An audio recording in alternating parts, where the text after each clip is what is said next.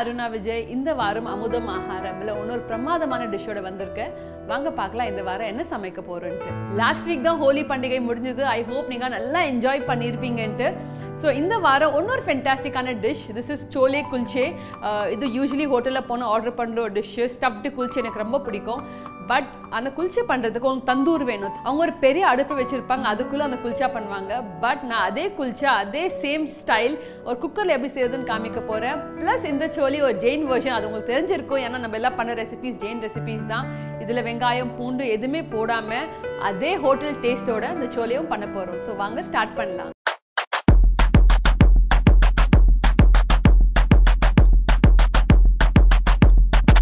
சோலே பட்டோரே பண்ணுறதுக்கு chole soaked one cup எட்டு மணி நேரம் ஊற வச்சிருக்கு. டொமேட்டோ பியூரி ரெண்டு தக்காளி அரைச்சிருக்கு. கொத்தமல்லி ஜீரகம் கடலை மாவு பட்டை லோங்கு இலைச்சி எல்லா மசாலாவும் கீ அண்ட் மாதுளோட ஸ்கின்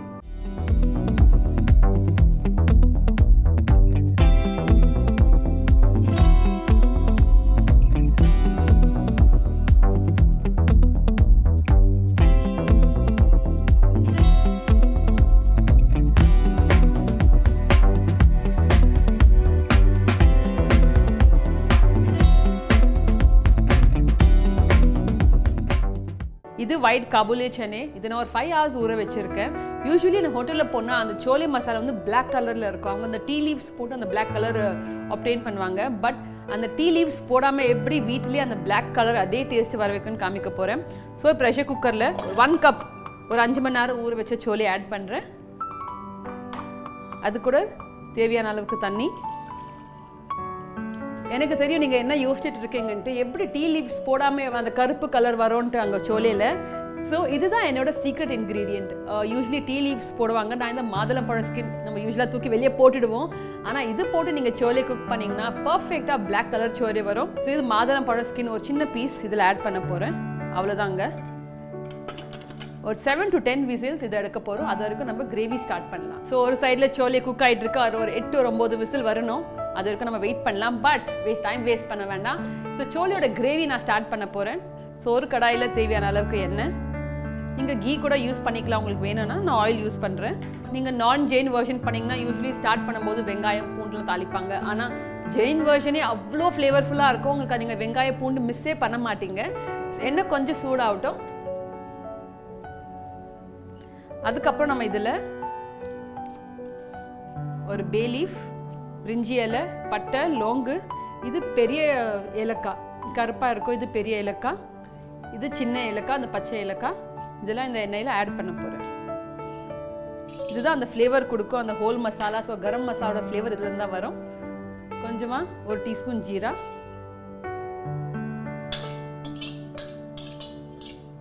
இப்போ எண்ணெய் சூடாயிடுச்சு ஜீரகமாக குக் ஆயிடுச்சு. ஒரு சின்ன பீஸ் காஞ்ச மிளகாய். அது கூட தக்காளி அரைச்சி வச்சுருக்கேன். தக்காளியும் பச்சை மிளகாவும் அரைச்சி வச்சுருக்கேன். இந்த தக்காளியை நான் வேக வைக்கல. பச்சை தக்காளி தான். ரெண்டு பெரிய சைஸ் தக்காளி எடுத்து அரைச்சி வச்சுருக்கேன். இது கூட ஒரு சின்ன பச்சை மிளகாய் ஆட் பண்ணியிருக்கேன் நீங்கள் உங்கள் பசங்களுக்கு குக் பண்ணீங்க. அது கூட நீங்கள் ஸ்கிப் பண்ணிக்கலாம். இந்த கிரேவி குக் ஆக ஒரு டென் மினிட்ஸ் ஆகும். அது வரைக்கும் நீங்கள் ஜெயின் சைட் ஒரு அச்சரப்பாக்கம் பக்கத்தில் இருக்குது அதை பார்த்துட்டு வாங்க.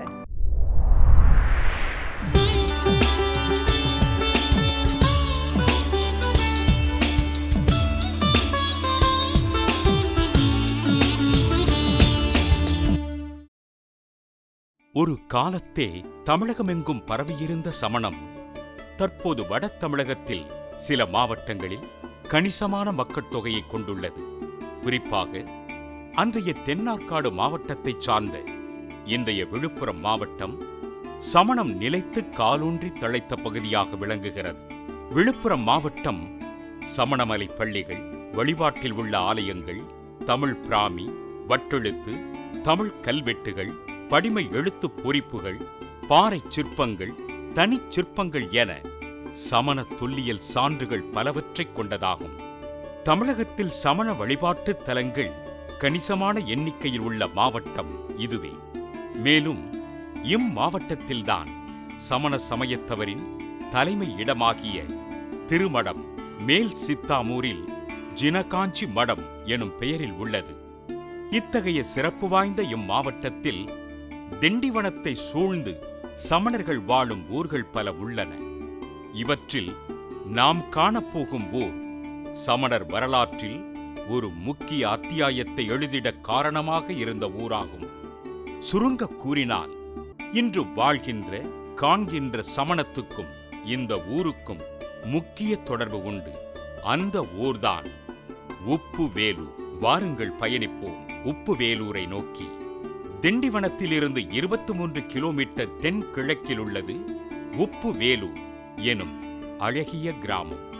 இது சக்திபுரம் வேலூர் எனவும் அழைக்கப்படுகிறது. இதோ வந்துவிட்டதே ஊர். சிதைந்த சில கல்வெட்டுகள் மெக்கன்சி சுவடி குறிப்புகளிலிருந்து உப்பு வேலூர் போயு பதினைந்தாம் நூற்றாண்டிலிருந்தே சமண சமய முக்கியத்துவம் வாய்ந்த இடமாக இருந்து வருவதாக தெரிகிறது. தமிழகத்தில் சமணர்கள் அதிக எண்ணிக்கையில் வாழும் கிராமங்களில் ஒன்று உப்பு வேலூர் இவ்வூரில் முதல் தீர்த்தங்கரர் ஆதி பகவனுக்கு ஓர் அழகிய ஆலயம் உள்ளது. அதை காண்போம் வாருங்கள். சில சுதை சிற்பங்களோடு கூடிய நெடிதான மூன்று நிலைகளைக் கொண்ட அழகிய நுழைவாயில் கோபுரம் நம்மை வரவேற்கிறது. நுழைவாயிலை கடந்து செல்கிறோம். ஓஹோ இது என்ன? இரண்டு நெடிதான கம்பங்கள். முதலில் உள்ளது சிமெண்டினால் செய்யப்பட்டது. உச்சியில் இருபத்தி நான்கு ஆரக்கால்களை உடைய சக்கரத்தை தாங்கியுள்ளது. இது அறவாளி கம்பம் அதாவது தர்ம சக்கரம் என்றனர். இந்த சக்கரத்தில் உள்ள இருபத்தி நான்கு ஆரக்கால்கள் இருபத்தி நான்கு தீர்த்தங்கரரை குறித்தது எனவும் இந்த அறவாளி கம்பம் மகாவீரர் பிறவா நிலை எய்தி இரண்டாயிரத்து ஐநூறு ஆண்டுகள் ஆனதின் நினைவாக இது நிறுவப்பட்டது என அறிந்தோம். இதை அடுத்துள்ள நெடிய கல்கம்பம் தீர்த்தங்கரர் சிற்பங்கள் வடிக்கப்பட்ட நெடிதாக விண்ணில் உயர்ந்து நிற்கும் கல்கம்பம் நம் கவனத்தை வெகுவாக ஈர்க்கிறதே. அதன் அடிப்பகுதி விசாலமாக உள்ளது. கம்பத்தின் உச்சியில் சிறு மண்டபம் போன்ற அமைப்பில் நான்கு திசைகளிலும் தீர்த்தங்கரர் சிற்பங்கள் உள்ளன. பாருங்கள். இது எதற்கு? வியப்போடு பார்த்து கொண்டிருந்த போது பெரியவர் ஒருவர் ஐயா இதன் பெயர் மன தூய்மை கம்பம் மானஸ்தம்பம் என்பர்.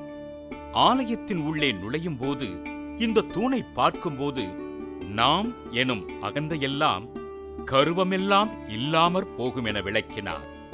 அதை அடுத்து உயரமான கல்பீடத்தில் தாமரை வடிவில் அமைப்பு ஒன்றைக் காண்கிறோம். அது பலிபீடம் என்றார்கள். கெட்ட எண்ணங்களை தியாகம் செய்து தூய மனதுடன் கோவிலுக்குள் நுழைய வேண்டும் எனும் சிந்தையை ஏற்படுத்த அது என்றார்கள் அதன் மீது மலர் முனைமுறியா அரிசி போன்ற தூய பொருட்களை வைத்திருப்பதைக் காண்கிறோம். கோயிலினுள் சுற்றி வலம் வரும் பாதை விசாலமாக உள்ளது. திருச்சுற்று மதில் உயரமாக உள்ளது. கோவிலை வலம் வருவோம். வலம் வரும்போது நமக்கு தென்படுவது கருவறைக்கு மேல் உள்ள அழகிய விமானம். தீர்த்தங்கரர் இயக்க இயக்கிய சுதை சிற்பங்கள் விமானத்தை அலங்கரிக்கின்றன. கோயிலை சுற்றி வலம் வருகையில் மூன்று முக்கியமான சிற்பங்களை பார்க்கிறோம். ஒன்று செங்குத்தாக நிறுத்தப்பட்டுள்ள கற்பலகை. அதில் முக்குடை வடிவம் காணப்படுகிறது. இது வயல்வெளியில் கண்டெடுக்கப்பட்டதாகவும் சமண ஆலயத்திற்கு வழங்கப்பட்ட நிலத்தின் எல்லையை குறித்ததாகவும் இருக்கக்கூடும் என்றனர் மற்றொன்று இரு திருவடிகள் செதுக்கப்பட்ட கற்பலகையாகும். இது தொன்மையானதாக தெரிகிறது. இந்த திருவடிகள் பதினைந்து பதினாறாம் நூற்றாண்டில் வாழ்ந்த சமண சமய தலைவர் வீரசேனர் என்பாரது சிரவணப்பெளி குலத்திலிருந்து சமய கல்வி கற்று தமிழகம் திரும்பியபோது அவருடன் வந்த சேமக்கலம் பழைய கன்னட எழுத்து பொறிப்புகளுடன் இந்த ஆலயத்தில் உள்ளது. இவர் சிரவண வெளி குலத்திலிருந்து சமய கல்வி கற்று தமிழகம் திரும்பியபோது அவருடன் வந்த சேமக்கலம் பழைய கன்னட எழுத்து பொறிப்புகளுடன் இந்த ஆலயத்தில் உள்ளது. மூன்றாவது தொன்மையான சிதிலமடைந்த நிலையில் தீர்த்தங்கரர் சிற்பம் சுற்றுவட்டார பகுதியில் கிடைக்கப் பெற்று இங்கு வைக்கப்பட்டுள்ளது.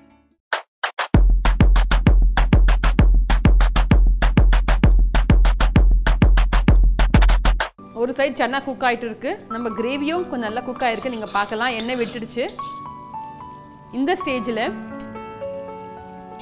நான் இதில் எல்லாம் மசாலாவும் ஆட் பண்ண போகிறேன் தனியாத்தூள் மிளகாத்தூள் மஞ்சள் கரம் மசாலா உப்பு அண்ட் பெருங்காயம் எல்லாம் எடுத்து வச்சுருக்கேன். இது எல்லாமே இப்போ ஆட் பண்ணிக்கலாம். இதோட ஒரு டென் மினிட்ஸ் ஒன்று குக் ஆகணும். அப்போ தான் அந்த மசாலோட பச்சை வாசனை போகும். ஸோ நல்லா மிக்ஸ் பண்ணிவிட்டு திரும்பி லிட்டு போட்டு ஒரு டென் மினிட்ஸ் இந்த கிரேவியை நல்லா குக் ஆகட்டும். நம்ம சென்னாவும் ஒரு செவன் எயிட் விசில்ஸ் வந்துருச்சோன்னா ரெண்டு விசில் பண்ணால் அதுக்கப்புறம் நம்ம கேஸ் ஆஃப் பண்ணிடலாம். சென்னா நல்லா சாஃப்டாக குக் ஆகணும். So which is very important இதெல்லாம் நடந்துகிட்ருக்கு ஸோ இது வரைக்கும் நம்ம குல்ச்சாவோட மாவு பிசைச்சிக்கலாம் குல்ச்சா மாவு செய்கிறதுக்கு ஒரு கப் மேதா மாவு தேவையான அளவுக்கு தண்ணி கால் கப் தயிர் ரெண்டு டேபிள் ஸ்பூன் நெய் ஒரு டீஸ்பூன் கலோஞ்சி உப்பு தேவையான அளவு பேக்கிங் சோடா ஹாஃப் டீஸ்பூன் பால் ரெண்டு டேபிள் ஸ்பூன் கால் டீஸ்பூன் பேக்கிங் பவுடர் சர்க்கரை ரெண்டு டேபிள் ஸ்பூன்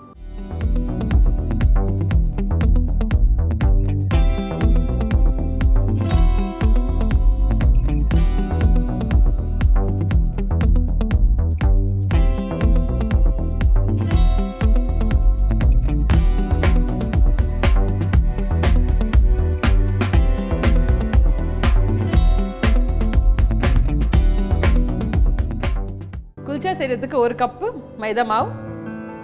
ஃபர்ஸ்ட் அதில் நான் எல்லா ட்ரை இன்க்ரீடியன்ஸ் ஆட் பண்ண போகிறேன் பேக்கிங் சோடா பேக்கிங் பவுடர் நிறைய பேர் கேட்பீங்க சோடாவை அவாய்ட் பண்ணலாமான்ட்டு. யூஸ்வலி ஹோட்டல்ஸில் இந்த மாதிரி குளிச்சால நான் பண்ணும்போது அவங்க ஈஸ்ட் போடுவாங்க. நாங்கள் அதை ஜெயின்ஸ் ஈஸ்ட் சாப்பிட மாட்டோம். ஸோ அந்த ரீப்ளேஸ்மெண்ட் தான் இந்த பேக்கிங் சோடாவும் பேக்கிங் பவுடரும் ஸோ கண்டிப்பாக இதை மிஸ் பண்ணாதீங்க. அதுக்கப்புறம் ரெண்டு டேபிள் ஸ்பூன் சுகர் உப்பு தேவையான அளவு. இதெல்லாம் ஃபஸ்ட்டு ட்ரை இன்க்ரீடியன்ஸ் நல்லா மிக்ஸ் பண்ணிக்கோங்க. இதுக்கப்புறம் ரெண்டு டேபிள் ஸ்பூன் நெய் அந்த சாஃப்ட்னஸ்க்காக ஜெயின் ஃபுட்டு நெய் இல்லாமல் சான்ஸே இல்லைங்க ஸோ நெய் கொஞ்சம் தாராளமாக போடலாம். இந்த நெய்யை ஃபுல் மாவில் நல்லா மிக்ஸ் பண்ணி விடுங்க. இதுக்கப்புறம் நம்ம போட்ட பேக்கிங் சோடா ஆக்டிவேட் பண்ணுறதுக்கு யோகர்ட் ரொம்ப முக்கியங்க தயிர் ரொம்ப முக்கியம். அப்போ தான் நம்ம போட்ட சோடா ஆக்டிவேட் ஆகும் இந்த மாவில் தயிர் போடுறதுக்கு அப்புறம் லாஸ்ட்டாக பால் போடுறேன். ஸோ தயிர் பால் இதெல்லாம் நல்லா சாஃப்ட்னஸ் கொடுக்கும் நம்ம குல்ச்சாக்கு பிகாஸ் யூஸ்வலி ஹோட்டலில் நான் சொன்ன மாதிரி ஈஸ்ட் யூஸ் பண்ணுவாங்க. நான் ஈஸ்ட்டை நான் அவாய்ட் பண்ணியிருக்கேன். நீங்கள் பஞ்சாப் சைடில் இந்த குல்ச்சா சோலி சாப்பிட போனீங்கன்னா இது கூட ஒரு ஸ்வீட் இம்லி சட்னின்னு சர்வ் பண்ணுவாங்க. அது கூட ஆனியன் எல்லாம் சர்வ் பண்ணுவாங்க. It's a very classic dish நிறைய ரோட் சைட் டாபாவில் உட்காந்து சாப்பிட்டீங்கன்னா ரொம்ப டேஸ்ட்டாக இருக்கும். லாஸ்ட்டாக கொஞ்சம் தண்ணி தேவையான அளவு.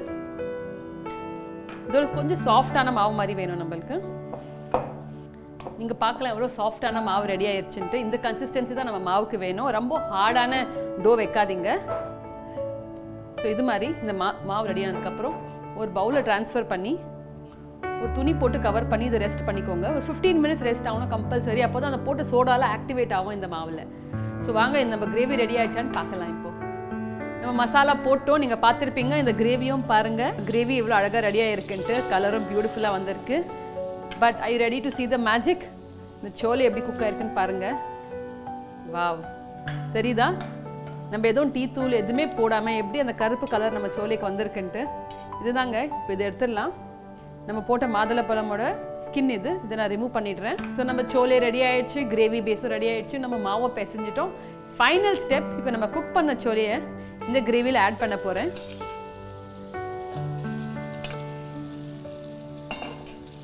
ஆட் பண்ணி நல்லா மிக்ஸ் பண்ணிக்கோங்க. இந்த கிரேவி கூட இதை நல்லா குக் பண்ணிக்கோங்க. குக் பண்ணதுக்கப்புறம் தேவையான அளவுக்கு தண்ணி ஒரு கால் கப் தண்ணி ஆட் பண்ணுங்கள்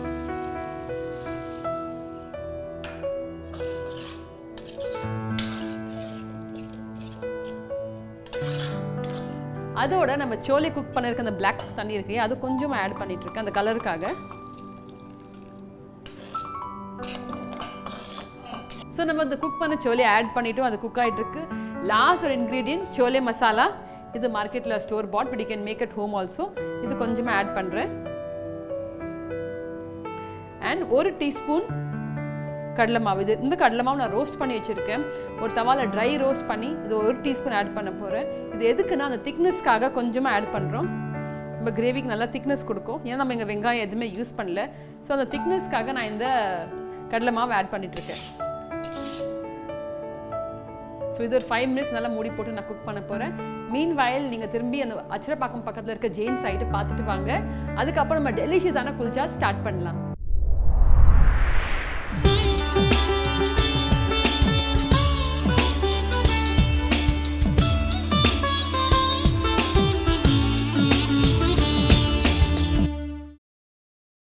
மதில் சுவரை ஒட்டி ஸ்வாலா மாலினி யக்ஷிக்கு சிறு ஆலயம் உள்ளது. வலம் வந்தபின் இப்போது ஆலயத்தினுள் செல்லலாமே. ஆலயம் நீண்ட மண்டபம் போன்ற அமைப்பு. இதன் பின்பகுதி கருவறை நடுப்பகுதி அர்த்த மண்டபம் அடுத்துள்ள பகுதி மகா மண்டபம் முன்பகுதி முகமண்டபம் என நான்கு பகுதிகள் உள்ளன. கருவறையில் நான்கடி உயரத்தில் தியான கோலத்தில் அமர்ந்த நிலையில் கல்லால் வடிக்கப்பட்ட அழகான ஆதிநாதர் சிற்பம் உள்ளது. தமிழகத்தில் உள்ள சமண ஆலயங்களில் முதல் தீர்த்தங்கரர் ஆதிநாதரை மூலவராக கொண்டவை அதிகமாகும். இவற்றுள் அளவில் மிகப்பெரிய மூலவர் சிலைகளைக் கொண்ட சிலவற்றுள் உப்பு வேலூரும் ஒன்றாகும். பீடத்தின் அடிப்பகுதியில் இவரின் இல்லாஞ்சனையாகிய எருது சிறிய அளவில் உள்ளது. பிற திரு உருவங்களில் உள்ளவை போன்று அலங்கார பிரபை முக்குடை சாமரம் வீசுவோர் அசோகத் தரு ஒளிவட்டம் அரியணை என எதுவும் இல்லாத திருமேனி இது. இச்சிற்பம் போயு பதினைந்தாம் நூற்றாண்டுக்குரிய கலைப்பாணியைக் கொண்டது. மகா மண்டபத்தில் நாள்தோறும் பூசை அபிடேகம் முதலிய வழிபாடுகளை செய்வதற்காக ஆதிநாதரின் சிறிய அளவு கற்சிலை உள்ளது. இதில் மேற்கூறிய எல்லா சிறப்பு அமைப்புகளும் உள்ளன. இதனால் அபிடேக வழிபாட்டு சிலை எனப்படுகிறது. மற்றொரு முக்கியமான அம்சம் இங்கே பழமையான ஓலைச்சுவடிகள் தனியே பாதுகாப்பாக வைக்கப்பட்டுள்ளன. வடக்குச் சுவரை ஒட்டி அழகுமிக்க தருமதேவி யட்சியின் சிற்பம் உள்ளது. தருமதேவியின் வலது காலுக்கருகில் இரு குழந்தைகளும் இணையாக இரண்டு சாமரம் வீசுவோர் சிற்பங்களும் உள்ளன. இத்தேவியின் தலைக்கு பின்புறம் பிரபைக்கு பதிலாக மகுடத்தின் மேற்பகுதியில் மடல்களை உடைய கமுக மரத்தின் வடிவம் உள்ளது. இவை போயு பதினைந்தாம் நூற்றாண்டைச் சார்ந்தது. முகமண்டபத்தின் வலப்பக்கம் வரிசையாக தனித்தனியாக உள்ள அறைகளில் பிரம்மதேவர் தர்மதேவி பத்மாவதி கற்சிற்பங்கள் உள்ளன. மன தூய்மை கம்பத்திற்கு வடக்கு திசையில் ஒரு மண்டபம் உள்ளது. அது பாண்டுக சிலை மண்டபம் எனப்படுகிறது. இதில் தீர்த்தங்கரர்கள் முக்தி அடைந்த மலைகளின் சிறிய அளவு மாதிரிகள் செய்து வைக்கப்பட்டுள்ளன. இங்குள்ள தூண் ஒன்றில் தமிழ் கிறந்த கல்வெட்டு ஒன்றும் உள்ளது. அவற்றில் ஜெயசேனர் சமுத்திர விஜய நைனார் ஐயண்ண நைனார் எனும் பெயர்கள் குறிப்பிடப்பட்டுள்ளன. இக்கல்வெட்டின் காலம் ஆயிரத்து தொள்ளாயிரத்து ஒன்பதாகும். ஆலயத்தை பார்த்தபின் தற்போது உப்புவேலூருக்கு பெருமை சேர்க்கும் மற்றுமோர் இடத்திற்கு செல்லலாம். ஆலயத்திற்கு தென்கிழக்கு திசையில் திறந்த வெளியில் பதினெட்டடி உயர பீடத்தில் பதினெட்டடி உயர பாகுபலி கற்சிலை உள்ளது. சிரவண வெலகோளாவில் உள்ளது போன்ற நின்ற நிலையில் அண்மையில் திருமலை அரகந்தகிரி சமண மடத்தின் தலைவர் திரு தவள கீர்த்தி அடிகளாரின் முழு முயற்சியால் நிறுவப்பட்டுள்ளது. இந்த சிலையின் பீடத்தில் பாகுபலிக்கும் அவர் சகோதரர் பரதருக்கும் இடையே நடைபெற்ற போட்டிகள் வடிக்கப்பட்டுள்ளன. ஆண்டுதோறும் அச்சிலை நிறுவிய அன்று அவருக்கு அபிஷேகம் நடந்து வருகிறது. பாகுபலி திருவுருவம் உள்ள இடத்தில் நிலமட்டத்தில் தொன்மையான தீர்த்தங்கரர் சிற்பம் உள்ளது. இது வேறெங்கோ கவனிக்கப்படாத நிலையில் இங்கு கொண்டு வரப்பட்டதாக தெரிகிறது. சிலையின் எதிர்ப்புறத்தில் துறவியர் இவ்வூருக்கு வருகையில் தங்குவதற்காக கட்டப்பட்ட மண்டபம் உள்ளது.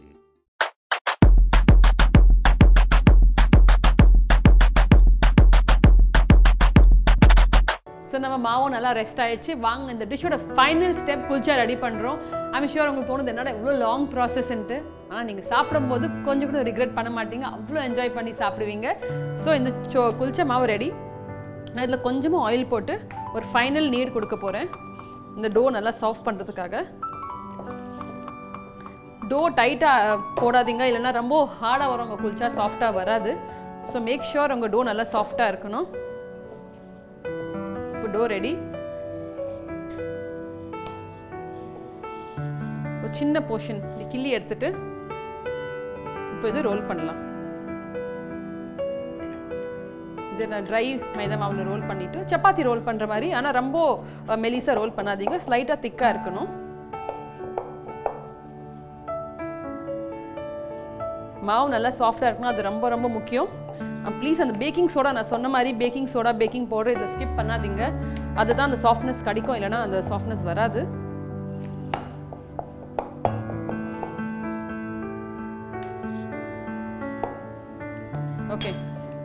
நம்ம பண்ணியாச்சு நீங்கள் பார்க்கலாம். ஒரு ஹாஃப் இன்ச்சோட கம்மியாக திக்னஸ் நான் வச்சுருக்கேன் இதில். அவ்வளோ திக் இருக்கணும். ஃபைனலி இதில் கலோஞ்சி ஆனியன் சீட்ஸ்னு சொல்லுவோம். அது கொஞ்சோண்டு ஸ்ப்ரிங்கிள் பண்ணுறேன் நான் செஞ்சு வச்ச இந்த சோலே மசாலா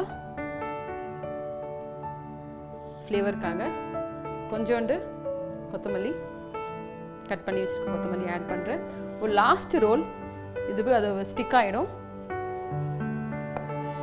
ஸோ இது ரெடி இப்போ நம்ம குல்ச்சா நம்ம ரோல் பண்ணியாச்சு. நீங்கள் கேட்குறீங்க அருணா எங்கே தந்தூர் இல்லாமல் எப்படி குல்ச்சா பண்ண போகிறீங்கன்ட்டு இதுதான் என்னோட மேக் ஷிஃப்ட் தந்தூர். ஒரு எம்டி குக்கரை ஹை ஃப்ளேமில் டென் மினிட்ஸ் சூடு பண்ணியிருக்கேன். பட் ரொம்ப இம்பார்ட்டண்ட்டான விஷயம் இது உள்ளே இருக்க கேஸ்கெட் எடுக்கணும் ரப்பர் எடுத்துடணும். அண்ட் விசிலும் இருக்கக்கூடாது. ஸோ ரப்பர் அண்ட் விசில் ரெண்டுமே எடுத்துட்டு இந்த குக்கரை டென் மினிட்ஸ்க்கு நல்லா ஹை ஃப்ளேமில் சூடு பண்ணியிருக்கேன்.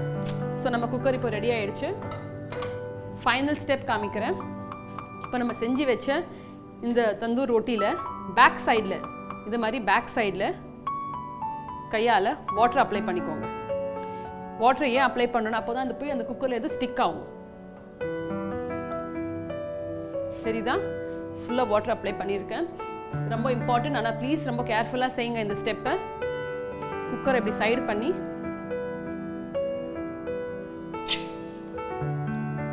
பாருங்கள் இப்படி போட்டாச்சு. ஸோ நீங்கள் பார்க்கலாம். நான் தண்ணி போட்டதுனால நான் போட்டுன்னு அது நம்ம ஹாட்டான குக்கரில் ஸ்டிக் ஆகிடுச்சு பட் ப்ளீஸ் நான் சொன்ன மாதிரி ரொம்ப கேர்ஃபுல்லாக இருங்க. எனக்கு குக்கர் ரொம்ப ஹாட்டு ஏதோ ரிஸ்க் எடுக்காதீங்க.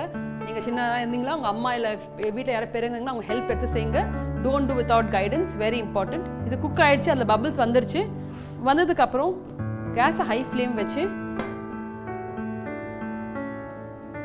இப்படி குக் பண்ணோம். அந்த சார்ட் மார்க்ஸ் வர்றதுக்கு ஸோ வாங்க இது ரெடி ஆயிடுச்சு. இப்போ நீங்கள் பார்க்கலாம். எப்படி அந்த ஹோட்டல் ஸ்டைல் தந்தூர் ரெடின்ட்டு அவ்வளோதாங்க ஃபென்டாஸ்டிக்காக இருக்குல்ல? நம்ம ரோட் சைட் டாபாவில் சாப்பிட்ற மாதிரி குளிச்சா வீட்டில் தந்தூர் இல்லாமல் எப்படி செய்யலான்ட்டு? இதை பாருங்கள் சூப் செம்ம சூடாக இருக்குது ஆனால் பர்ஃபெக்டாக குக் ஆயிருக்கு. அதே கலர் அதே க்ரன்ச்சினஸ் சூடாக இருக்கும்போதே கொஞ்சம் தாராளமாக நெய் ஆட் பண்ணிக்கோங்க.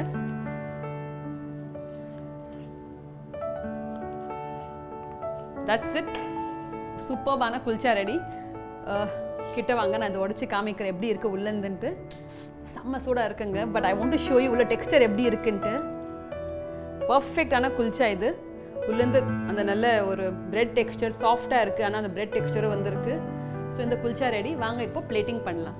யார் யார் யோசிக்கிறீங்களோ ஜெயின்ஸ் என்னடா சாப்பிடுவாங்க? வெங்காயம் இல்லை பூண்டு இல்லை அவங்க சாப்பாடு எப்படி டேஸ்ட் பண்ணுன்ட்டு நீங்கள் ஒரு வாட்டி இந்த சோலே பட்டூரியை ட்ரை பண்ணி பாருங்கள் அப்புறம் கண்டிப்பாக உங்கள் மைண்ட் மாறிடும். எவ்வளோ சிம்பிளான டிஷ் பட் எவ்வளோ ஃபுல் ஆஃப் ஃப்ளேவர்ஸ் ஆனியன் பூண்டு எதுவுமே இல்லை. ஆனால் ஃப்ளேவர்ஸில் கொஞ்சம் கூட காம்ப்ரமைஸே இல்லை. ஸோ என்னோட ஃபென்டாஸ்டிக்கான சோலை இப்போ ரெடி ஆயிடுச்சு. இப்போ நான் ப்ளேட் பண்ண போகிறேன் கலரும் டேஸ்ட்டும் அப்படியே ஒரு hotel style டேஸ்ட்டுங்க you will not miss anything so Jain food போரிங்னு சொல்கிறவங்க ப்ளீஸ் ட்ரை பண்ணி பாருங்கள் அப்புறம் எனக்கு சொல்லுங்கள் எப்படி இருந்துச்சுன்ட்டு. ஸோ என்னோட குல்ச்சி சோலே ரெடி கொஞ்சம் கொத்தமல்லி போட்டிருக்கேன் கார்னிஷ்காக அண்ட் நம்ம மேக் ஷிஃப்ட் தந்தூரில் பண்ண நம்ம குக்கரில் பண்ண குல்ச்சாவும் ரெடி ஆயிடுச்சு.